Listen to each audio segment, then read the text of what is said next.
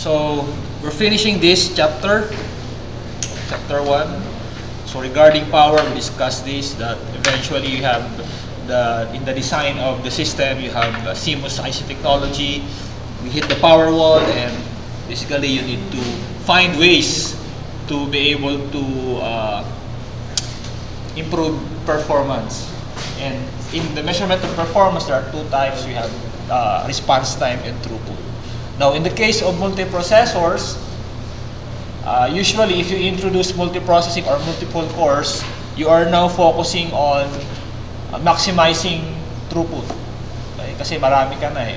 Uh, mabagal yung clock rate niya, pero you have uh, more cores, so in a way, you increase throughput. Okay? And it requires, of course, in the perspective of the programmer, it will require additional uh, knowledge and in a way, additional problem okay, because of uh, additional issues when it comes to programming. So nowadays, uh, unless you're a web programmer or web developer, you don't care about multi-core uh, multi-core processing. So you care more on, uh, let's say, user interface, user experience. But if you're a systems programmer or you are into, let's say, bioinformatics or scientific computing, modeling and simulations, you will need to uh, understand uh, this multi-core, multi-core uh, stuff. And the main issue is if you have multiple cores, you just you just you don't have a, just a single core.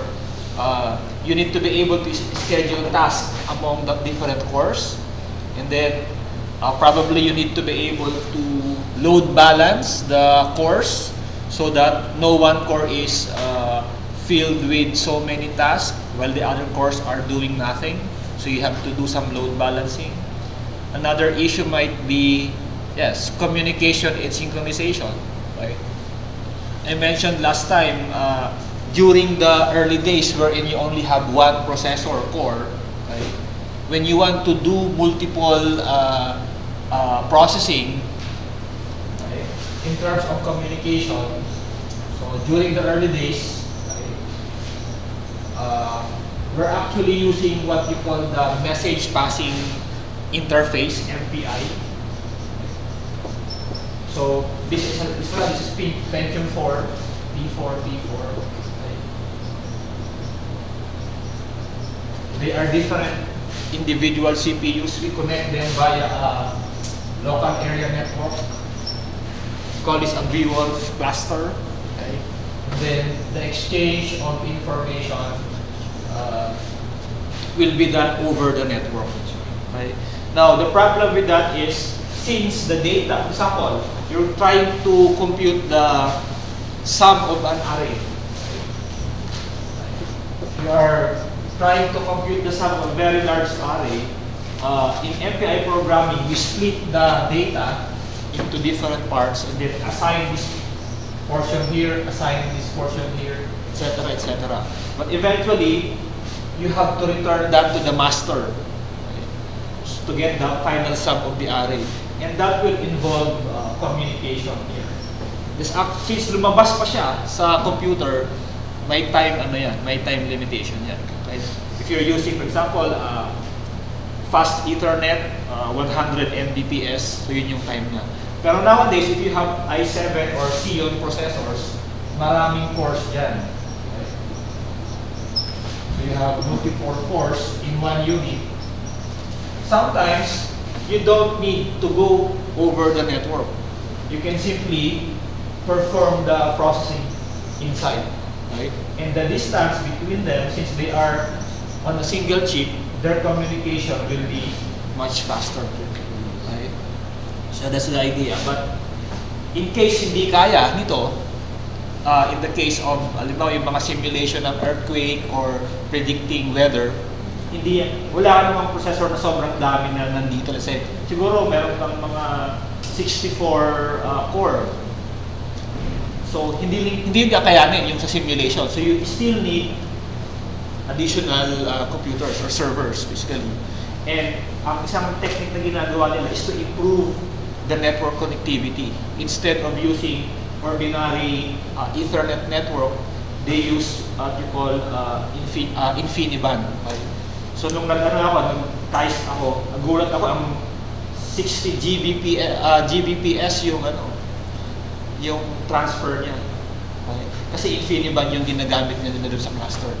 Eh, wala tayong ganun pa na setup. But that's actually one way to do that. So if you have multiple processors like this, there are additional issues for the developer that I must consider. And yung iba ngayon, kung ayaw nila ganyan, meron specialized CPU, nandiyan na yung GPU. So, kakabit mo lang yan dyan, data parallel problems, parallel processing pa rin yan. So, it's also part of the architecture. Okay?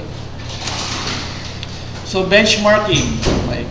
Uh, benchmarking is important uh, because it allows you to compare the performance of uh, different uh, workloads. Okay? Uh,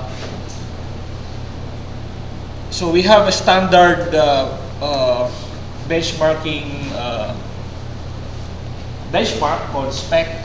Okay? And uh, actually, meron, hindi na siya yung latest, yung 2006, meron ng latest. Okay? So what it does is it runs uh, several programs on a system and then measures the certain values called the spec ratio. Okay? And uh, it's called the performance ratio. And that is used to quantify the quantify the performance of a machine. So uh, it's actually a standard or a community-driven uh, group, okay, which provides uh, set of workloads to test the performance of the CPU, the I/O, or, web, or actually anything na ginagamit. For example, sa business, meron din. Right? Business application. And usually, to be able to uh, get the quantified performance or uh, benchmark, okay, you have you use the arithmetic uh, geometric mean to get the value. Okay? The advantage of using the geometric mean is that kumbaga fixed siya. Okay? Hindi maapektuhan yung performance depende sa ano sa sa machine na niran mo. Okay? So here's an example. Uh, so uh, this illustration uh, shows how the Intel Core i7 920 uh, processor is being tested. So what it does is this, uh, this uh, benchmark, niraran niya itong mga program na to okay, with these characteristics. And then the spec ratio is computed. And then the final uh, geometric uh, mean is the result of that uh, benchmark. So the higher the benchmark, the, the higher the value, the better the performance. So uh, are you familiar with this? Uh, uh, so these are the tools that are being run and then the, the performance are measured. So Perl, you know Perl is a scripting language. Before Python, uh, we were using Perl. Uh, BZip2, are you familiar with this tool? It's a compression algorithm similar to tar or zip. Of course, GCC. So, ang ginagawa niya, niraran niya yung GCC, minimeasure niya yung mga properties na to. Okay? And then to get the spec ratio. And for this set of uh, for this set of uh, programs, yun yung kanyang makukuhang value. Okay? So, pwede mo siyang i-run sa i5 or sa AMD. Ano ba tawag sa processor ng AMD? High-end processor ng AMD? Ry- Ryzen ba? Okay, so Ryzen. So, compare mo, run mo to sa Ryzen, ano yung value ng mag-yield doon? So, actually, binibili mo to eh. Yung, yung benchmark na to, you have to purchase this. Kasi kung ikaw yung manufacturer, gusto mong testingin yung product mo against this benchmark para malaman mo kung ano yung advantage ng product mo compared with the other processors, for example. Okay, so, yun. So, ito ay parang generic. Ang purpose ng benchmark is more of a generic uh, generic uh, way to assess the uh, performance. Okay? You can also have power. Okay, so pwede rin naman yan for uh, benchmarking power levels. Okay? So, for example, you have uh, this one. Okay. Xeon is usually used for uh, uh, uh, data serv uh, se uh, dito servers for uh, data center. So, tingnan natin, meron tayong, meron tayong ganyan. Eh.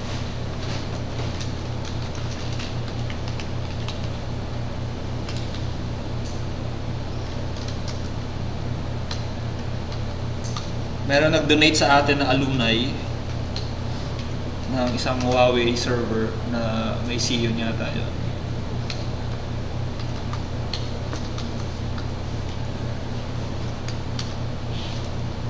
Okay. So, Xeon nga ba to? Ito, ito. Okay. So, it's an Intel Xeon uh, machine. So, installed uh, uh, Ubuntu 18.04 here. And, uh, and how many cores does this machine uh, has? 32. 32 nga ba? 32 CPU or tingnan natin. Uh,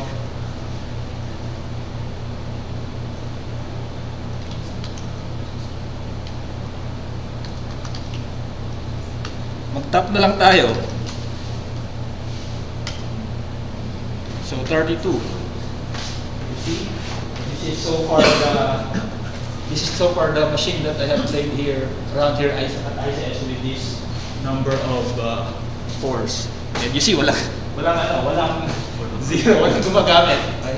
Nagko-consume ng power pero walang walang ano, walang walang load as you can see in that example, right? So It's just an example of uh, uh, powerful machine. So, dito rin nakalagay yung ano, yung GPU uh, and, uh, GeForce RTX na Titan. Ito rin nakakabit. So, uh, okay, Amdahl's law. Okay, so uh, Amdahl's law is uh, a way to assess whether the improvement uh, on a certain portion of uh, a particular uh, program will affect the overall performance of the system. Uh, so improving an aspect of a computer and expecting a proportional improvement in the overall performance. So uh, an example, uh, example, if you have a program, right, uh, that multiply, uh, that performs multiplication, and you would uh, you have a program that uses multiplication, right? And as a designer, uh, the current performance of uh, the program, uh, uh, the total execution time of the program is 100 seconds, right? but the multiplication part consumes 80 seconds of that 100%, uh, 100 second execution. Right? So, how much improvement in multiply performance to get a 5% overall performance? So, the question here, so uh, you focus on the multi, parang di ba sa computation, multiplication is quite expensive, right? And it consumes 80 seconds out of the 100 seconds. Now, if you are asked to design, uh, how can you can you improve multiply uh, multiply operation so that get 5 times the 100, uh, kumbaga, bababa yung 100 seconds. Parang gusto mong gawing 20. Okay? So using this equation, it will yield that uh, it can't be done. Okay? So you can't improve the multiplication, okay, the performance of the multiplication in order to uh, obtain the target that you want for the overall. So, again, the idea is to make the common case fast. So, yung laging ginagamit, yun yung i-improve. Okay? So, it does not necessarily mean that uh, by focusing on just a single uh, attribute, uh, you will be able to improve the overall performance. So, this is called the Amdahl's Okay? So, that's one pitfall. Okay? Uh, fallacy. Okay? So, yung fallacies naman dito is something to do with uh, the uh, relationship between improving performance and power. So, nakalagay naman yan dito. So, there's always a uh, relationship between uh, performance and power. Hindi ibig sabihin na hindi busy yung CPU ay hindi na nagko-consume ng power yung machine. Okay? So, that's one uh, uh, fallacy. Right? So consider designing processors to make power proportional to the load. So there is a relationship between the uh, performance and the load. and of course power. Okay, so this one, uh, another pitfall. So ito yung MIPS is a common measure of performance but again, it does not consider everything. Uh, ang pinaka-ultimate goal talaga is yung big picture na CPU tayo kanina. But for some uh, for some literature or references, minsan ginagamit nila yung uh, of instructions per second. Okay? So, for example, MIPS. Merong mga benchmarking tool na ginagamit yung MIPS. But however, uh, dahil nga dun sa ating big picture, it is not always the case. Right? So it is it does not account for the differences in the instruction architecture and the complexity of the instructions. Right? So for to end this chapter, okay, so cost uh, per performance improving, cost per performance improving due to the underlying technology development. Uh, hierarchical layers of abstraction is present in the system, in the design, right? Instruction architecture refers to the hardware and software interface, okay? And it is the execute, execution time which is the best performance measure. And power is a limiting factor, okay? And instead use parallelism to improve the performance, right? So this ends this chapter, right?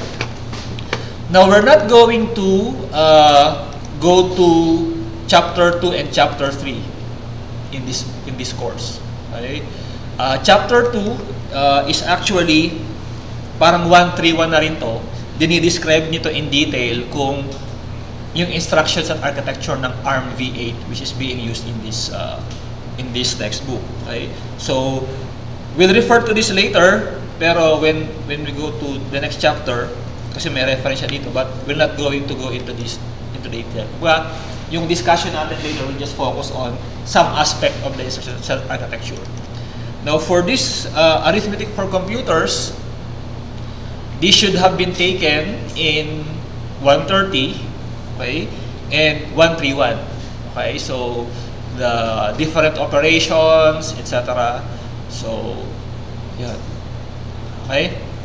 So, example, multiplication, how it is done in hardware. Pero, we'll discuss the uh, we'll, dis we'll not discuss in detail here kung paano siya implement but uh, I assume na na, na I mean familiar na kayo dun sa uh, mga operations okay we'll not discuss the details of siguro sa, sa lang baka discuss nyo to kung paano gagawin yung multiplication for example but we'll not discuss this in the lecture okay so discuss this uh, in uh, in 131.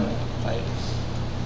So we now move on to the actually the meat of ComSci 132 which is designing a processor. So you build uh, the processor on top of the knowledge that you have regarding uh, 130 digital design and 131 which is the instruction set architecture for actually for x86 or x86-64. Okay. Now, the purpose now is to understand how do you design a processor. Okay. So, uh, the progression would be something like this. Uh, during the early days, you learn to program in Python. It's an interpreted language, print hello world. Then you learn to, to write programs in C. So print F and then perform some operations. And you learn you, you learn that the C program is actually compiled into assembly language. And assembly language is actually part of the instruction set architecture of, of the machine. And if you have an x86-64 ISA, Intel and AMD can have different implementations of those of those of that ISA, right? And now we go into the detail of how are these instruction set architecture implemented at the low level by designing a processor. Okay. Now, during the discussion, early discussion, uh, the processor, there are two main components inside the processor. You have the data path, which involves the computations, and the control unit. Right? So, that is what we're going to discuss in this uh, chapter. And there are there are two stages, two phases in this chapter. The first one is designing a simple uh, processor which completes instructions in a single clock cycle, and the other one is uh, using pipelining to improve the performance. Right? So we'll discuss first the first one, the basic uh, processor architecture. Right? And uh, based on the quiz, the CPU performance factors okay, is basically influenced by the instruction count, so the ISA and the compiler and the program itself, and the CPI and the cycle time. So they recall that CPI, clock cycle per instruction, usually pertains to uh, a class of instruction. So you have a CPI for arithmetic instructions, you have CPI, average CPI for uh, data movement instructions, and another CPI for branch instruction. And this is these are determined by CPU hardware. So, if you want to, kung developer, uh, kung ano ka, kung compiler writer ka, okay, ang priority mo is to minimize the instruction count. Okay? TCC, GCC, you, you, you see the point there. And if you are a hardware designer, you're interested in the CPI and the cycle time. Now, in the textbook, it says there that you have the leg V8 uh, implementation. So, you have the uh, ARM uh, architecture and then subset which the leg V8 uh, implementation, which is a simplified version and a more uh, dalawa ang didiscuss, yung sabi ko kanina, simplified version ng uh, implementation ng uh, leg V8 and uh, a more realistic uh, pipeline version. Okay? Now, in the discussion of this, in the discussion in this chapter, we're going to look at how to implement these three, uh, these three classes of instructions. So you have the memory, right? uh, memory reference instruction, you have load uh, and store. This is the equivalent of MOV in, uh, in uh, x86.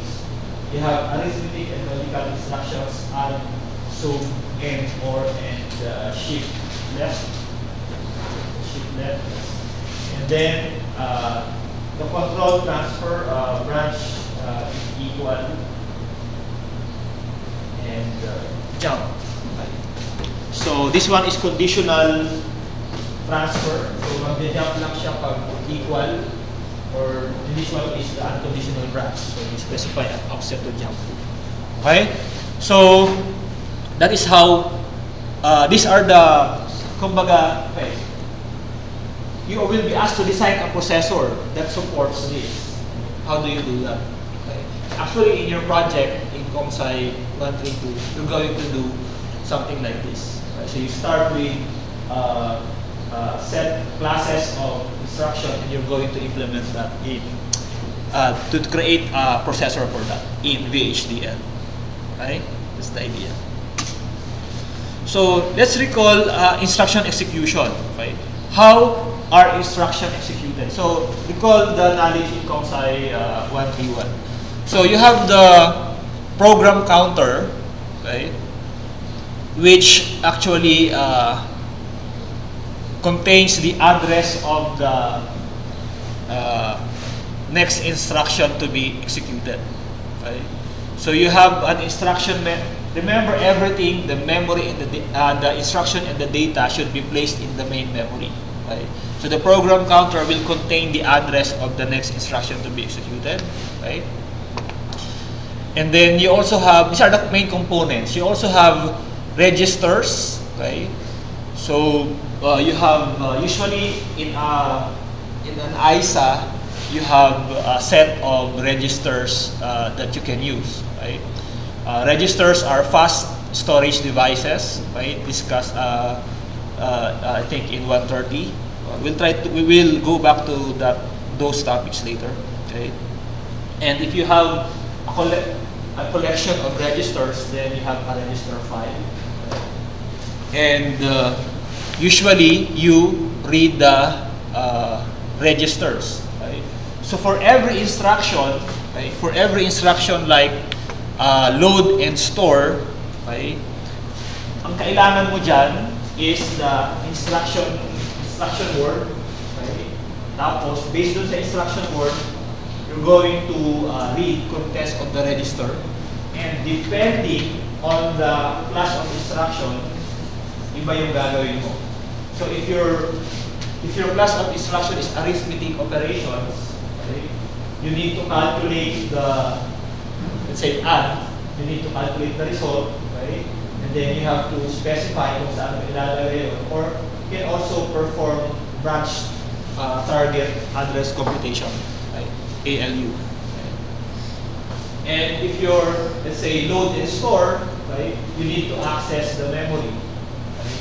And then you increment the program counter to move to the next instruction. Uh, can you, uh, do you understand this mechanism? Okay? The uh, fetch, decode, execute cycle in uh, the processor. Okay? So, given this instruction execution mechanism, how do we uh, design a uh, processor for that? So, we start with called the data path. Okay? So, paano natin to i-integrate using different functional units? So, usually we use that, use, we create that using a, a diagram, okay? With the representative boxes as the different functional units. So, ano yung mga functional units na, na meron dito? Uh, the first one is the program counter. Okay. So this is the program counter. And this is the instruction memory. Okay. The data memory. Now, uh, this is just a logical uh, logical visualization of the memory. Notice na hiwala yung instruction memory, hiwalay din yung data memory, di ba? Pero normally, you only have one chip for the memory. Okay? But for the case of the in the case of the design logical view, they can be treated as uh, as uh, different memory areas. Kumbaga, address lang naman yan eh. You can think of this as this is the data section of your program, and you can think of as the code section of your program. You get the idea? So the program counter uh, will contain the address of the next instruction to be executed. And that address is located in the instruction memory functional unit. Right? So this functional unit, in terms of circuitry, you supply that address to the uh, instruction memory. And as the output of that instruction memory, you will get the instruction. In the instruction word, which will be interpreted later. Now, if, and the instruction may need to use registers. Usually, for example, if you have uh, add AXBX uh, in, in, set, uh, in x86. So this is an x86 instruction. Add AXBX. So it will need, as parameter of the instruction, register number and register number here. Okay? So it depends on the ISA kung ilan yung architect, uh, kung ilan yung register na provide niya. For example, sa x86 64, meron tayong general purpose registers. Yung mga R, RAX hanggang R12 yata. Right? And then, so, ito yung mangyayari. Okay, so, you will need to read registers from the register file. Okay? And depending on the instruction class, okay, so halimbawa, uh, addition, okay, may input dito sa ALU okay, that will uh, be used to compute the uh, sum. So halimbawa, uh, AXBX. Okay? So add AXBX. So AXBX. Okay? Papasok yan dito, may output siya. Usually dalawa ka siya, dalawang register. Okay? AXBX. Now saan i-store ang sum?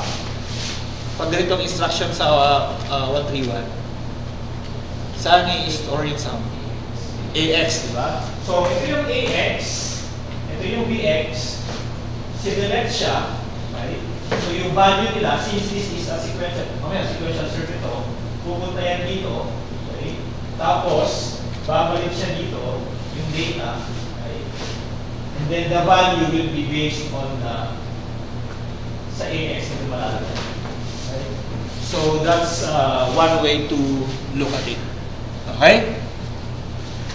Now, after the execution of the instruction, you need to proceed to the next instruction, di? So normally, you have this program counter here, okay? And uh, these are these are also ALUs, okay? So specifically, nag-add lang siya. Okay? So, uh, mag-add lang siya ng 4, and then kukunin nyo na yung address ng next instruction. Get the idea? Now, in the example in the textbook, yung architecture niya simple lang. Okay? Fixed width yung ano niya. Uh, uh, fixed length yung kanyang instruction. Ibig sabihin, 32 bits. Okay? Kaya 4 bytes yung lagi niya ina-add. Okay? There are architecture, ito ay SIS. Okay? Ah, ah, RISC. Reduced Instruction Set Computer. Kaya kumbaga, simple lang yung fixed length. Unlike in x86-64, variable length move instruction, mamaya makikita nyo, minsan mahaba, minsan maikli lang. Okay. And then, yun, pupunta yun dito, and then, uh, depende rin sa ano, sa instruction, baka may jump instruction yan, or branch instruction, pwede siyang mag-add ng offset dito, pupunta sa ibang lugar. Okay, you get the idea?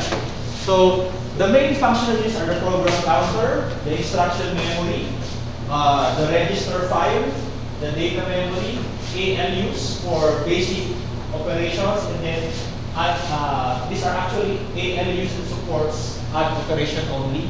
Ito maraming operation na gawin. Add to. Okay. And one thing that you will notice is uh,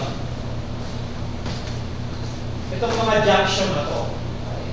So these junctions seem to be, uh, kumbaga nag-emerge sila from different inputs.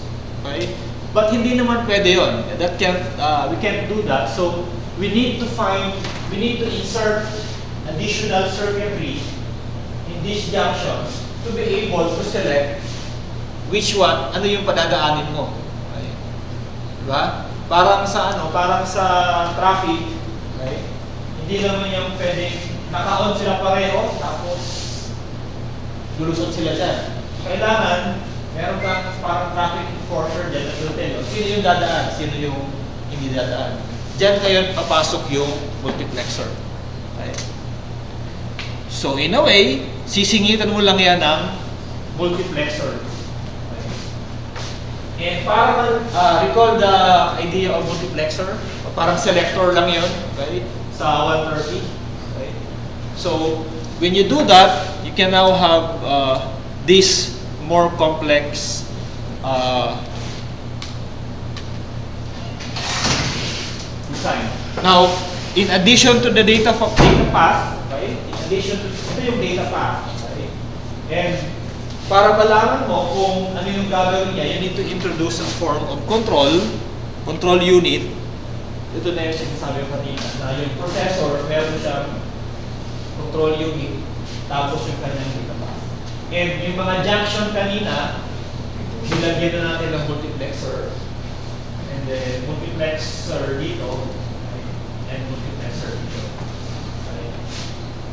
And ito yung control signal. ah so 130 meron kayong ginawa ganito, di ba? wala, parang table, truth table. So, yan. So this is now a more complete view of the processor na nagsusupport nitong operation na to. So, ang, ang goal natin is to design a processor that supports these instructions. How do we do that? Okay. We establish the data path. Okay. And then, we get the control. Okay? So, ang mangyayari dyan, depende sa instruction. Okay? Depende sa instruction. Pupunta yan dito sa control unit. Meron siyang mga i-activate na signals. Lahat 1, 2, 3, 4, 5, 6, 7. So, 7 outgoing lines. Siya yung mag-dictate kung alin dito sa mga ibang functional units na yan, yung kanyang i-activate. Okay? So. Uh, so, try nyo i-ano, i-internalize itong ginagawa nitong ano, itong uh, code na to. Uh, itong guide, yung processor na to. So, the two main components is the data path and the other one is the control unit.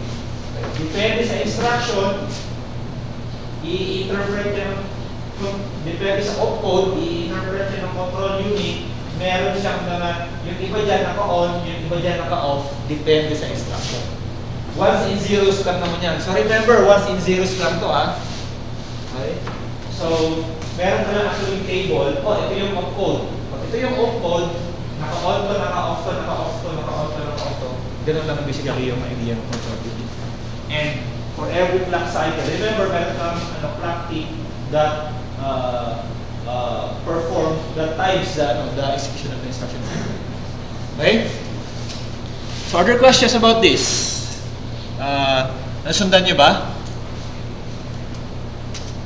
So, as a review, logic design basics, the, inform- the information basically in the computer is nothing more than ones and zeros. Right?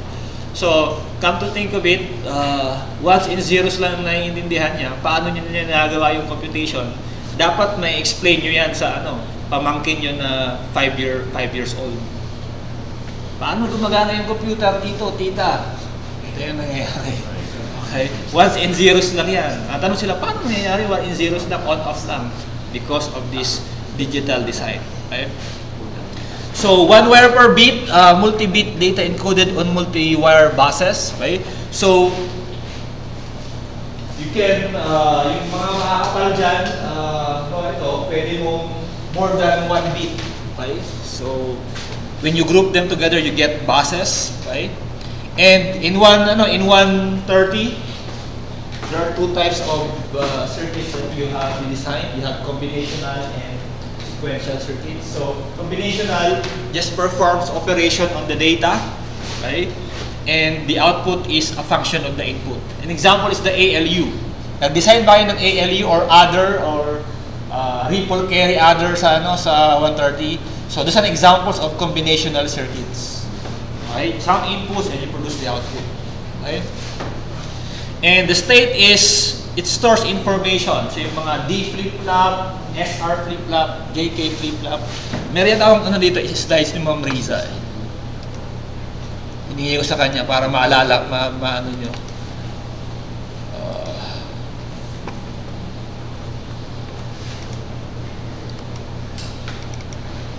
maganda yung mga slides ni Ma'am Riza eh. Winner nga siya ng ano, eh, best lecture slide. Uh, yung example natin dito. Siguro ito, uh,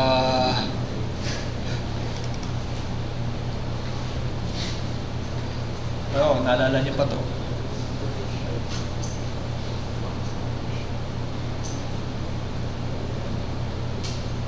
Highly animated nga yung kanyang mga ano, eh, slides.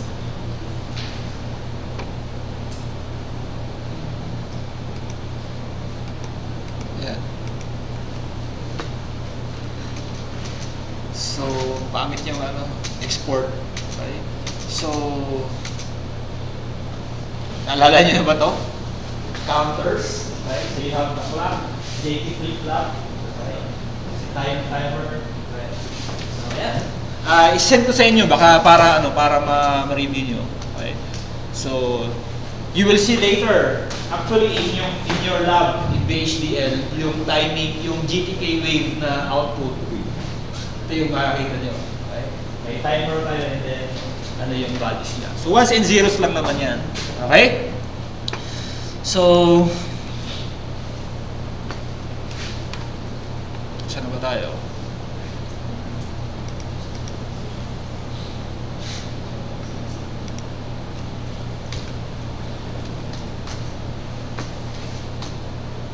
Okay, so yung dalawang ano dalawang klase ng circuits or elements. Okay? And for uh, combinational elements, these are the common cases. So you have the AND gate, okay, a logical AND, okay, uh, adder, okay. So yung add kanina, multiplexer. So ito yung ano, ito yung siningit kanina dun sa mga junction, okay? Yung multiplexer. So, yung multiplexer in addition to the inputs, unlike here, itong di- dito siningit yung multiplexer, di ba? Okay? So may dalawa siyang input, galing dito tapos galing dito. Okay? Now, in a multiplexer, you need to specify a selector here. Okay? Para sabihin niya kung ano yung palulusutin niya. Okay? So, some form of traffic enforcer. Okay? Pag, pag, pag, pag zero siya, ito yung palulusutin mo halimbawa. Pag 1 siya, ito yung palulusutin mo halimbawa. Yun yung ibig sabihin nun. Okay? That's the multiplexer.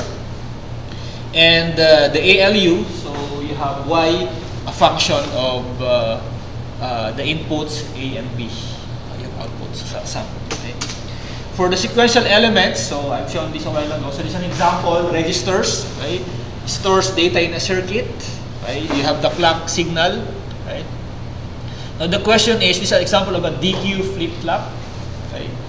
Uh, so this is the clock key. How do you, uh, when do you update the, the values, right? So you normally, you have edge trigger, positive edge tri- trigger. right? So, ito yung clock tick, so, yan, so, one cycle. So, ito yung pataas niya. So, doon mo lang i-write yung uh, value. Sa kabila. It's the input sa kabila. Okay? You get the idea? So that is important para magkaroon ng synchronization ngayon yung ano, yung uh, pag-grid ng data. Kasi baka mangyari pag hindi ka nag-agree dun sa uh, pag-update, okay, pwede iba yung mabasa mo kaysa dun sa sinulat. Okay? So ito, ginagalang niya na yung binabasa mo dyan ay yung talagang ano na, na naisulat na. Okay, you get the idea? Okay. So these are the building blocks of, uh, so this is for reading. Now, with write control, okay, uh, magra-write lang siya pag naka-set itong bit na to, pag naka-enable siya, or naka-assert. Okay. Uh, nabukod na naka-assert yung write, uh, write control, saka lang siya masusulat. Pag hindi naka-assert, kahit magkaroon pa siya ng ano, magkaroon pa siya ng positive uh, edge dito, yung B, hindi zero siya, wala siyang gagawin. Pero pag naka-assert siya, gagawin siya. Okay? Uh, you get the idea? So, yan one. Kawan. Kawan yung right. Edge, edge ng clock B, right. Zero yung ano, yung uh, right. Edge. Do natin. Okay, one, edge. Okay? So, we'll stop here. Okay, and we'll continue next meeting uh, uh, looking at building the ano, building the uh, processor for the three classes of instructions na dinidiscuss kanina. Okay, so please submit your paper for the quiz and then uh, we'll see you, I'll see you next meeting.